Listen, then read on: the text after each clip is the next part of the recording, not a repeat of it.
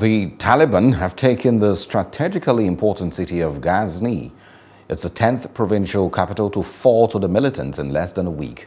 Ghazni is uh, on the major Kabul-Kandahar motorway linking militant strongholds in the south to the capital, Kabul.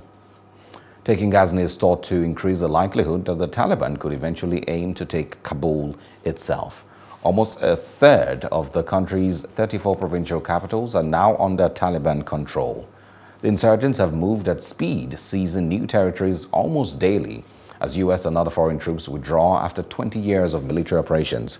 Heavy fighting was also reported in the city of Kandahar on Wednesday. The Taliban claim to have taken over the city's prison, although this has not been confirmed.